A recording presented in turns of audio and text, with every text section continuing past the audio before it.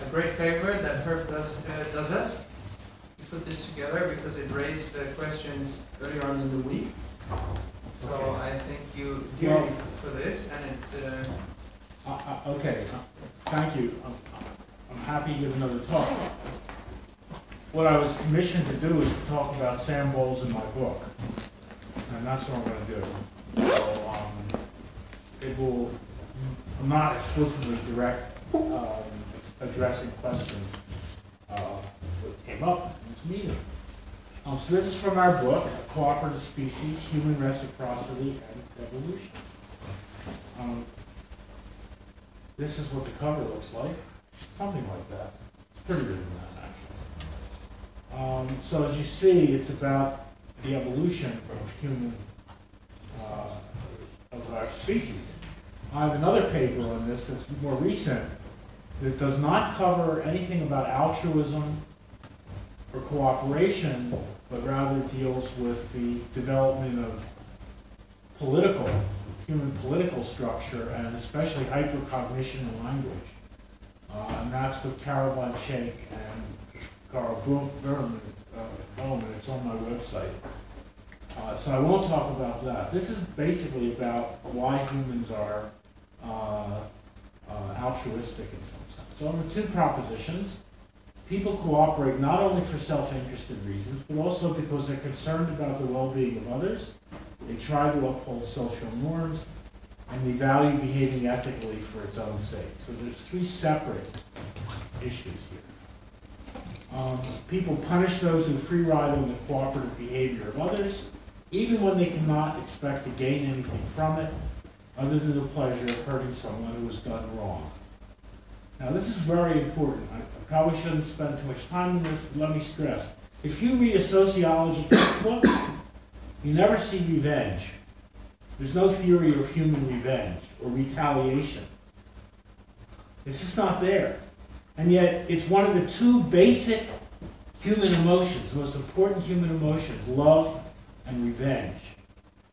Notice if you go to the movies, there are two basic kinds of movies.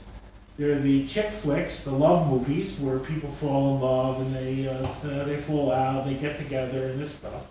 And the second is the revenge movies, the Texas Chainsaw Massacres, the um, uh, Arnold Schwarzenegger's family is hurt in the first minute, and the next hour and a half he's killing everybody in sight.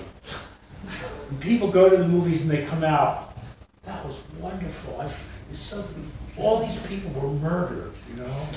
Right? If only I could do that every day to people I don't like, you know.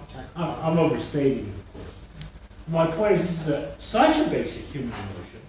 And the social sciences, until the work that we've been doing in the past 15 years or so, they treated it as non-existent or, or patho- pathological.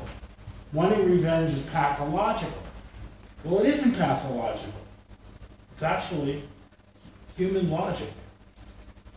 Um, now, oh, how, how did it go from the first to the last? you did the same. Oh, I did the same thing. I, I pushed N instead of, yeah, it's good for me. Um, now the second is we have these moral sentiments because our ancestor ancestors lived in environments in which groups of individuals who were predisposed to cooperate and uphold ethical norms tended to survive and expand relative to other groups. This is obvious that. Thereby proliferating these pro-social motivations, both culturally and genetically. And as I said in my first talk, culture and genes are interrelated according to the theory of gene-culture coevolution. Um, so our genes are the genes that were most uh, convivial to the particular cultures that arose in our evolutionary past. Genes are effective culture. Now, two kinds of cooperation, mutualistic, i.e., an activity that confers net benefits both on the actor and others. Um, but it can cooperation can also impose net costs upon the individual. We say that it's altruistic. Um, altruistic cooperation will not be undertaken by an individual whose motives were entirely self-regarding. That's obvious. A lot of this is obvious. I'm just saying what's in our book. We've gone over some of it, a lot of it. Um, Uh, the evolution of cooperation is mutualistic, or, and this is not mutualistic, kin altruism, which is help your relatives. It's very common in, in uh, other species and in humans. Uh, other than that, sacrifice on behalf of close relatives, these are easy, I'm sorry, these are easily explained by natural selection, according to inclusive fitness theory and common sense. Help your mate, your others like you, you're going to spread the genes and gene complexes that are like yours. Um, because such behaviors help proliferate one's genes irrespective of whose body they're in, including the genes that induce the healthy behavior. This is called inclusive fitness theory. Um, there's also reciprocal altruism, which is really a bad name. Robert Trivers made it up a long time ago which is tit for tat. There's a lot of that. Or actually, believe it or not, let me go back. Believe it or not, humans are the only species that are have been demonstrated to uh, play the reciprocal altruism game. They're the only species that has been demonstrated to do that uh, regularly. Um, there are other people talk about, uh, look, vampire bats that share blood, but it's not reciprocal altruism. They're closely related, and they don't keep count of who gives to whom. Um, and reciprocal altruism is really long-run mutualism. It's enlightened long-run mutualism. Um, these explain many forms of human cooperation, many, many forms. Particularly those occurring when close kin or in very small groups or where there's a lot of repetition, so you're dealing with people over and over. And I would add when there's a good reputation effect all of this. But they fail to explain at least two things. One, it takes place in large groups of non-kin, where people don't know each other. They're not related. Um, and it occurs in interactions where there's no repetition, so you can't form uh, reputations. Um, also, where there's complete anonymity. People behave pro-social. That's one of the things we found early in our work um, that uh, people basically take their, their social values and their ethics into the laboratory even when nobody's watching except themselves. Um, only a model with social preferences that motivate them. By social preferences, I mean either they like to uphold norms, or they care about other people, or they they, they value virtues for their own sake, like honesty, trustworthiness, loyalty, consideration, etc. Um, so the question is, how do these social preferences arrive? And that's what we are, are uh, trying to show in our book. Now, what we try to show is a plausible story about the origin of these social preferences. We certainly can't prove that this is a correct story, but we've tried to use all of the empirical data that was available to us to make a story that is not wrong somehow and that is also logical and plausible. This is subject to change when we get new anthropological information, neurological, paleontological. These are subject to change. But it's the best story we've been able to put together. Um, so, we started out um, we branched off from the, from the um, apes uh, many millions of years ago because apes, all the apes are herbivores or frugivores. They eat fruit or leaves. The early hominids were scavengers that ate that that um, scav that uh, chased away predators uh, uh like like lions and tigers um, and ate uh, the meat of large mammals. So uh, we were uh, we were omnivores, hunter gatherers, but the hunters at first were scavengers. Um,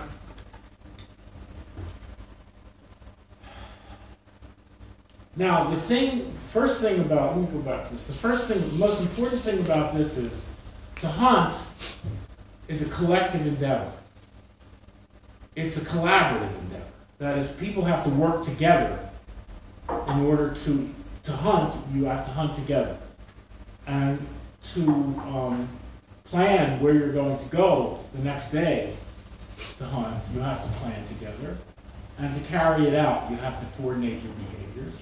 So there's a lot of social interaction going on there. Moreover, when you get to the point of actually cook, having fire and cooking, this, by the way, is more in, our, in my later paper. Um, if you have a large animal, if you see any other species with a large, large uh, the big predators, when they kill someone, they all get in there and eat whatever they can. No such thing as fairness. No need for it. Everybody eats what he can. But if you cook meat, a large uh, animal, you have to drag it back to where the fire is. You have to cook it for many hours. And in order to avoid um, conflict, you develop rules of fairness for how you divide the kill. And these are very well developed in modern hunter-gatherer societies. Modern hunter-gatherers fight about lots of stuff, mostly marital, women, and this and that. But they don't fight about food almost every, anywhere. Um, so, and the second thing is that humans are, and this is a beautiful story, if I only have time to go into it, is that humans develop cooperative child rearing. Why? Because they, the, they raise their children around the fires. The fires are what kept the, the predators away from them and allowed them to sleep on the ground without climbing into trees. So they raised the children around the fire collectively and a few women every day would take care of the children, and the others would go out and, and, and gather, and, uh, etc. Every known species where there's collective child rearing is very social. Okay, and that's even among apes, among, among monkeys. There are some, some monkeys that are very uh, child together, and they are pro-social. The others, where they don't do that, they're not pro-social. So humans evolved with two forms of uh, life, uh, of fit, fitness enhancing behavior, hunting and child rearing, that were highly pro-social. Um, so groups that foster cooperation in hunting, child rearing, and punishing, by the way, also. That is, punishment is not individual the way you see it like in, in the experiments, you know, each individual punishes separately. In the real world, um, around the fire every night, people decide who screwed up, and they delegate people to punish them. Okay, this is standard today in hunter-gatherer societies. Rob Boyd, Sam Bowles, and I have an article in uh, uh, in Science that shows that this is uh, a viable analytical mechanism, sharing punishment rather than individually. Um, so um, they have to cooperate also in warfare. Warfare is endemic to humans.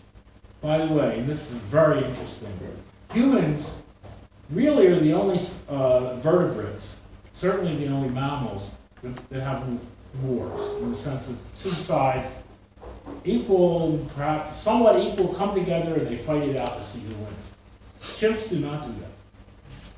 They can pick on individuals in another troop, but they don't have sustained uh, warfare. Ants have sustained warfare, but they're not vertebrates. So this is a, uh, but we've had that and been very good at it. If you look at the evidence on, you know, how people died in the past, plenty of heads split open right down the middle, and bones fractured um, in ways like in the forearm. If there's a bone fracture in the forearm, they know that you were putting up a fight. You put up your forearm and someone smacked it. So you can tell uh, from the uh, bones how they were. Also, they need truthfully transmitted information in order to coordinate behaviors and cooperate in way. So these have significant advantages over other groups, and therefore they proliferate. Um,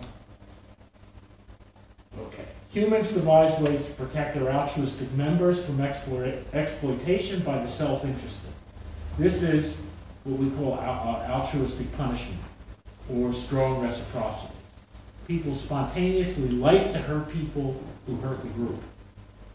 Um, shunning, ostracism, and even execution. And if you read Hierarchy in the Jungle by uh, Chris Boehm, his more recent book, goes through in detail the conditions under which people, usually young men, are ostracized or killed simply because they're bullies.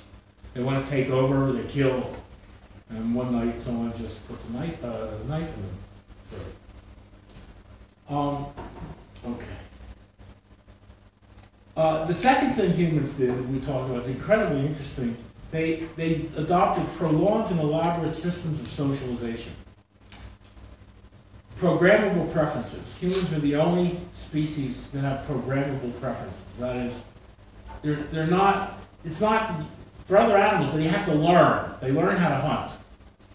And they learn um, snake, how to avoid snakes, what foods to eat. They learn stuff. But their preferences are pretty much wired in. Humans, you can teach totally different, totally different preferences, food preferences, how to talk, um, norms, ethics. Um, so you can make a very flexible species. It can adapt rapidly to new situations simply by how you, ch- you change the way you raise your kids. Um, and these are called internalization of norms. So people, the idea is norms are not conventions, and they're not constraints. They're right in your, they're right in your preference function. They're things that you're trying to get. They're goods. They're not constraints. Um, okay. Third, between group competition for resources was a decisive force in human evolutionary dynamics. The reason humans are so cooperative is that they fight with each other all the time. And the ones that are more cooperative fight more and better. And they beat the ones who are less cooperative. So, you know, I I love this because I hate to be a goody goody. I've always hated to be a good. Co- cooperation is really good. How does it happen? It happens through competition we're killing people. Whoever kills better is going to have the more cooperative people. Okay? That's nice. I mean, you know, it's true, which is why we say it, but it's one of these gifts of having it, having it work out nicely. Um, okay, so, as we argue, throughout history, group extinction, costly group dispersal and, dispersal and ostracism have been powerful mechanisms supporting the evolution of human cooperation. Now, don't get me wrong. If you go back into our prehistory, there's huge amounts of cooperation across groups. We know this absolutely because, for instance, the same a rock or a metal or a wood type that uh, that only occurs in one place will be seen 500 meters away, uh, uh, 100 kilometers away. They trade. Trade was very extensive in human society. It did not exist in any other species. So we're both very cooperative and very um, willing to uh, be violent. Um, okay. Now, when I usually give this talk, I then go through all of these experiments that we've been talking about. Public goods games, this and that, reciprocal list, but I'm not going to do that here, obviously. Um, so I'll just go on. I, I actually, uh, I love to do the one on honesty. This is a study by um, Gneezy, 2005. Please read it if you don't know it. It's absolutely beautiful. On how much people are willing to pay to be honest. In other words, just simply not to tell the truth, they're willing to lose money. Nobody knows but them. By the way, whenever ever you say anonymity in a game, it's never anonymous. You always know what you did. At the end of the experiment, you know what you did. Now you may say, well, why don't we do an experiment where we tell people we're going to block, block their mind completely, so they'll never remember what they did. Well, I don't know what they would do. They probably the- would. That was the sixties you man, mentioned earlier. right? Yes, perhaps something like that. We often would wake up in the morning and say, where am I? What place is this? You know, Who are you? Okay. So I'm not gonna go through this because, um, it works well. The most beautiful part of it is that almost everyone is somewhat honest, but if you make the cost of being honest high enough, they stop being honest. So it's just like a trade-off. It's in your, honesty is in your preference function. You trade it off against other things. No one is honest. Well, I never met anybody, and I've never heard of things, just honest no matter what. I'll get off of that. People make trade-offs. Moral, morality is not categorical.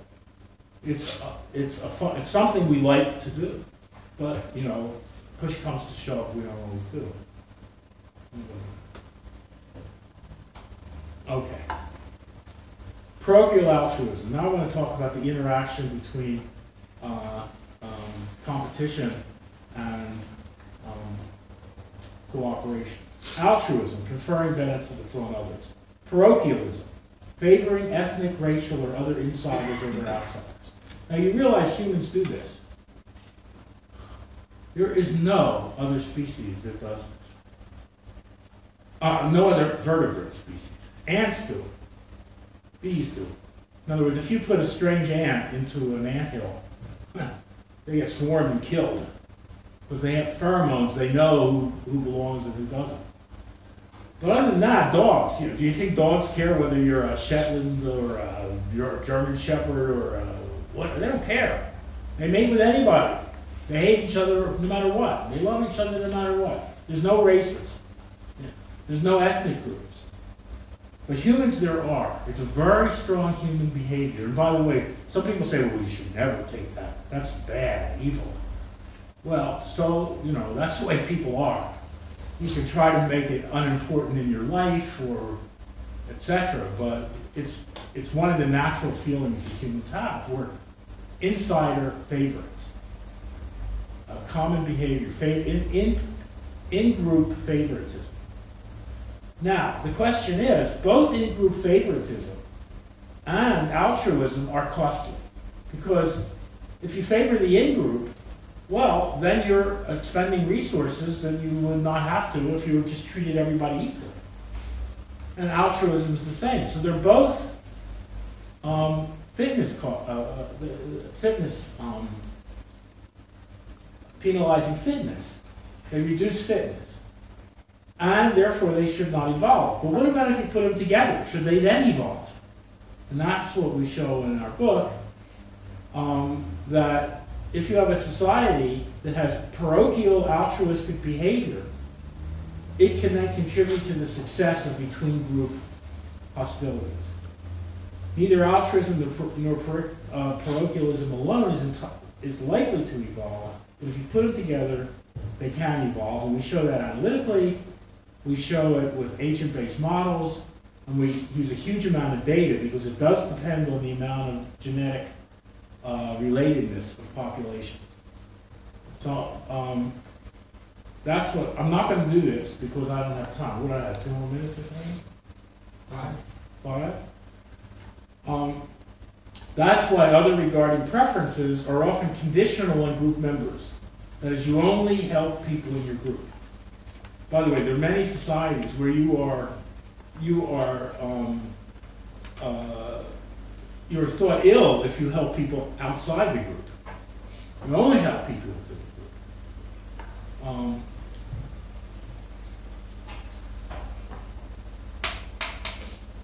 but was war sufficiently common and lethal to allow the pro proliferation of an altruistic trait linked to a parochial trait. Because here, altruistic parochialism is simple. This guy goes out there and gets his head shot off because he's altruistic on behalf of the group that he's in, because he is parochial. The parochial altruist is the universal soldier who's always getting killed in all these wars. And by the way, if he weren't parochial, he would be altruistic toward the whole world. He wouldn't want to fight his enemy, you know. Uh, there's a great Yeats poem about what the hell am I doing up here in the sky fighting somebody I never heard of, you know. Um, so you have to have both of them. Um, and then I'm not, I don't have time to go through, you know, what you have to do in academia is you get a lot of a lot of Greek letters and string them together in different ways and uh, prove something. So that what we find is if 2 kappa BR is greater than C, we go out and do it. Uh, where kappa, where kappa is the um, rate of intergroup rivalry, R is the um, genetic uh, genetic relatedness, B is the gain from winning, and C is the cost of losing. If you know Hamilton's rule in biology, it's Hamilton's rule with the 2 kappa in the front. Um, and what Sam Bowles did, not me, is he went to all these, he got data from all these places. The black, uh, or they're not really dots, the black squares uh, and dots are evidence of mortality, and the white dots are genetic differentiation. So you get relatedness on the one hand, and you get benefits and costs on the other. Um, and you make these, you know, huge um,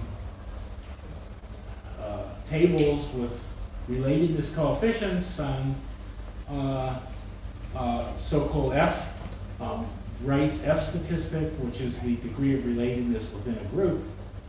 Um, and you show that, in fact, for reasonable numbers, um, you can have a C star, which is a minimum cost, I'm sorry, a maximum cost of conflict that uh, is still um, makes it rational for uh, an agent who is um, parochial uh, and altruistic to engage in conflict. Um, so I, I, think I'll, I'll, I won't go through all of these um, uh, details, but I'll say in, in, very quickly the main point that's going on is within a group, altruists lose because the, the free riders do better than they do. But across groups, those groups that have lots of altruists do better than the groups that have a few. And if you put those together, it's something called Price's equation. Price is the name of the man, not, not economics.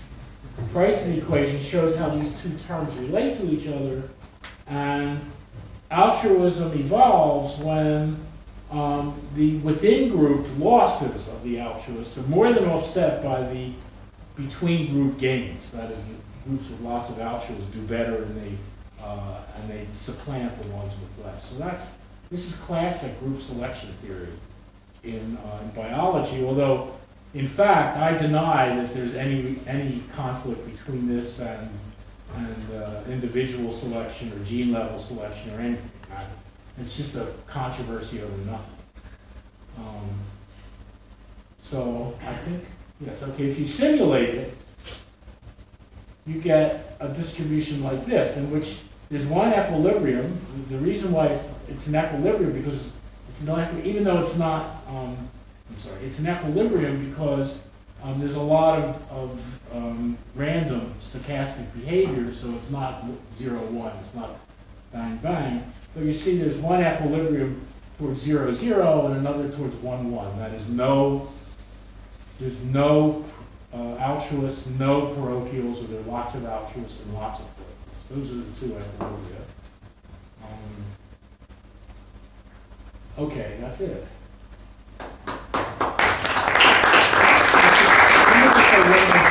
We still have no evidence of a genetic basis for war, altruism, or parochialism in humans. This is all airy fairy tale. We do not know that there's a gene for altruism.